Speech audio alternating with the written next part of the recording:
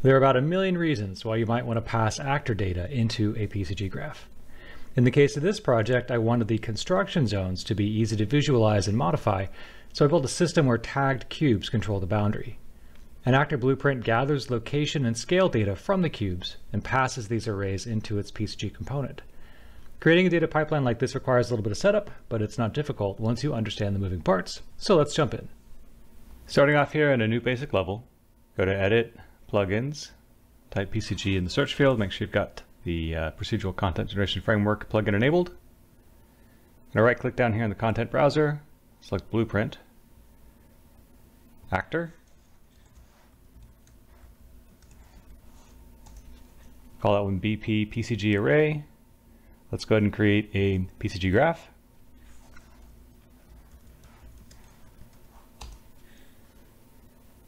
Let's go to the modeling menu We'll create a sphere. I'm going to set this to save itself in the current folder here.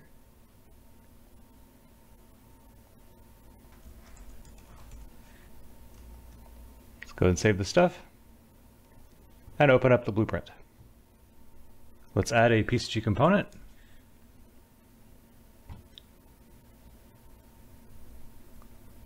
And then over here, I just need to drag my PCG array into the graph section compile, and save. Turn the visibility off on the floor. So I've got this instance here. I'm just going to make a few more. And we'll just sort of scoot them around a little bit. And then I'm going to select all of them, come over here to tag. In the actor tag section, just going to write PCG tag. So all these actors now have this tag. Set back into the blueprint, go to the construction script. I'm gonna right click and type in get all actors of class with tag.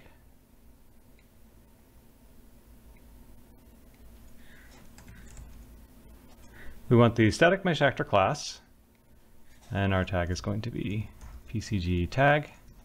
So this is going to automatically locate all these actors and add them here to this array. Let's go ahead and add a variable. Call this one locations. I'm going to set it to a vector data type, make it public, compile and save. We'll pull off from the array here and type in for each.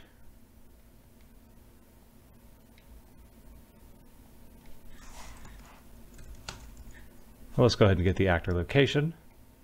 That'll be a vector. Oh, I need to actually set this to be an array. Make this a little bit bigger so we're not so cramped. So I've created the variable over here. I'm going to tell it to be an array. We'll do a get on that, pull off, type in the word add. So we're just getting all of the locations of any actor with this particular tag, PCG tag, that happens to be static mesh as well. We will do a compile and save. Let's grab the blueprint, drag it into the world. And uh, what we can see right away is there are a lot more than four entries here. And the reason is I forgot something very important, which is I need to clear this array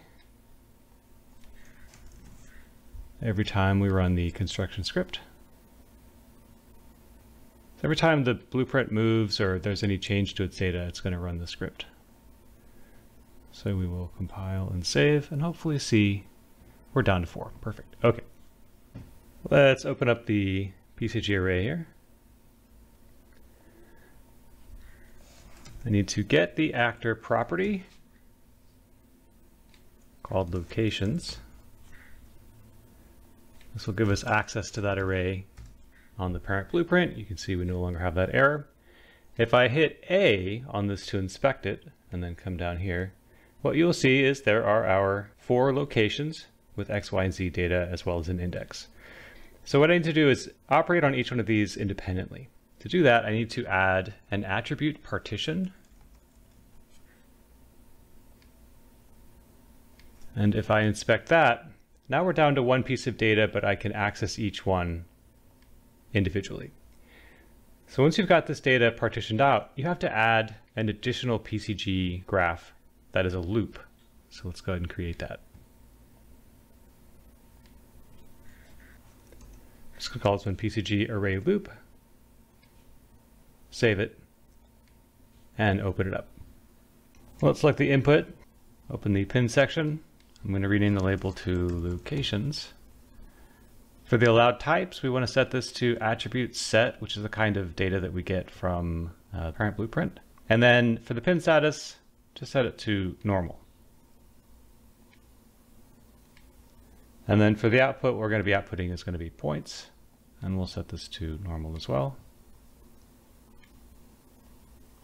So back here in our main PCG array graph, let's go ahead and drag our loop in.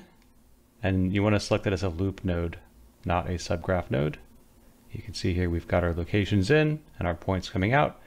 So I'm just going to plug this in like that. So now I've got our locations data. Let's open the loop back up. I want to create a points grid And for each point that we're getting out of our points grid, I want to offset them so that they all have this location data built into them, right? So we can go ahead and inspect this now by tapping the A key. Open this up a bit. So there's all of our location data, right? So for the points out of here, I'm going to pull off here and type in an add node. We can scoot that over a little bit. In fact, we can make this all a little bit bigger. So for the input source, I want to set this to location, sorry, position when we're dealing with points. So we're just adding this data to the position of each point. The points already have uh, XYZ attributes. And then we can just plug that in directly. So if I turn on debug for this, well, we can see that the points grid is pretty big. So let's head back in here and modify that. We'll just set this to 50 by 50. And there you go. Now the pivot on the sphere probably can be adjusted. It's at the bottom, so the points grid is spawning kind of at the bottom of the sphere. So let's adjust that. We'll just go to transform, edit pivot, and then center. And now we need to just kind of touch the blueprint so that it can recalculate and figure out where those points now live relative to their pivots. So let's hop over to wireframe for just a second. You can see that the points are the exact same size as our spheres. And the reason for that is the spheres by default come in at a uh, diameter of 100 units or a radius of 50 units. So if you look over here, we've got our grid extent set to 50 in X, Y, and Z, and the cell size set to 100. So the extent is basically the distance from the center of the grid to the edge, right? So we're basically saying this thing is allowed to be 100 units across, and then we're saying our cell size is 100 units. So what that's going to mean is we end up with effectively one point per pass through here, right? So we're going to come over here and set this to something like 50. You can see now we're getting some subdivisions here in the wireframe, and we now have eight points. So hopefully that makes sense for how these values are modifying the actual size of the points that we're creating based on the location of our spheres. I'm actually going to add a few more points here just to make this easy to see what's going on. Uh, I'm going to hop over to uh, lit mode again. And what I want to do is I want to pass the scale data from our spheres into our points grid. To do that, we're going to need to head back over to our blueprint. I'm going to add another variable here. We'll call this one scales, and it can be a vector array as well. We'll go ahead and grab a reference. First thing I want to do is clear it. Scoot this stuff down a little bit.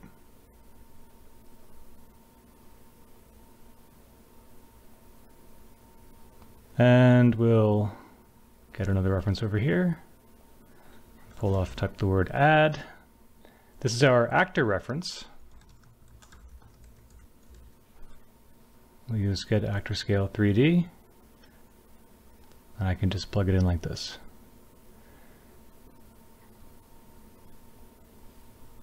Let's go ahead and compile and save. Oh, we got to make sure this is public. And then let's make one of these spheres a little bit bigger. Just say three across. Let's open our array loop back up. We can do a get actor property right here.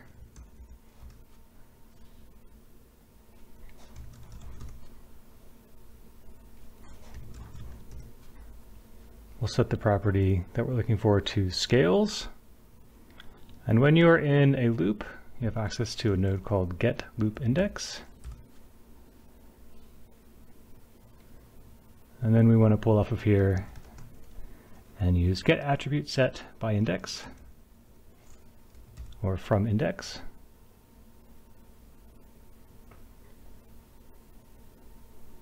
So if we inspect this, you can see we're going to have our scales, Oh, it looks like I need to update this a little bit. I just moved it, so now we've got that updated data there.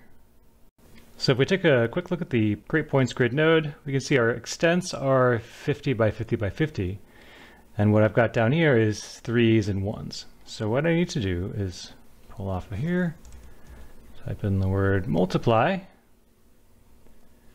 and then we're going to create an attribute Plug the attribute in there. And this is just a, a number, a double, so we can just set this to 50. So if I inspect this, now we should have 50, 50, 50, and the point that came in with the 3x scale is at 150, and then the rest of them are all 50s. So I can now extend this. We've got our grid extents option. I'm just gonna scoot some of this stuff around. We'll pipe this into grid extents. We'll go ahead and save it. And we look at it here in the world now we can see our points grid is now taking on the scale of the actor. So if we go to wireframe, you see it lines up perfectly. A little bit easier to see on the top view, right? So if I just grab another one here, and it doesn't have to be a uniform scale. If I scale it in one axis and update the blueprint, you'll see that the scale adjusts accordingly. So if we head over to our primary PCG array graph and add a bounds modifier and set the bounds min and max to 0.2 and turn on debug, you'll see we now have lots and lots of points based on our actor scale that we can do whatever we want with. So this is a pretty simple technique for piping in whatever you want really, uh, whatever kind of array data you're interested in feeding into your PCG graph, you can collect it and organize it via a blueprint. And uh, yeah, the, the rest is pretty straightforward. You just have to set up a, a loop to process it and you should be good to go. Please feel free to leave any questions in the comment section and thank you very much.